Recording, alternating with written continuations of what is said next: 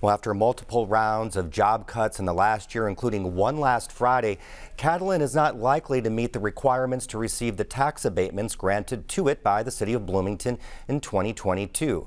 Bente Bouthier has this report.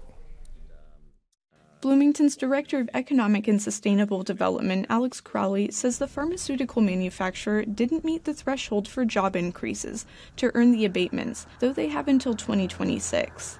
In exchange for a $350 million capital investment, the city agreed on two abatements with Catalent.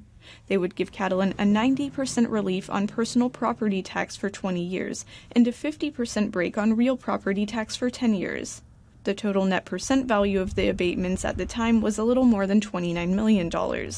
Bloomington will still benefit from other conditions the company had to approve to have the abatements, like the capital investment. So that has worked, you know, as it's supposed to. We we um, set some thresholds that we wanted them to meet. If they met it, then they would be able to take advantage of it, and if they don't, then they don't. Crowley says Catalent has indicated it won't meet the requirements by 2026. He adds the company communicated with the city quickly about the layoffs. We really appreciate it when we have engagement with with businesses like the Catalents of the world, the Cooks of the world, and uh, because you know it it it helps us understand what's happening.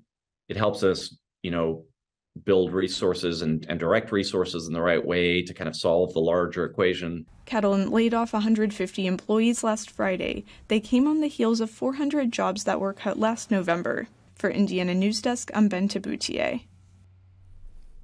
A condition of the severance package Catalent sent to laid off employees this week prohibits them from speaking to the media about the company and terms of the package.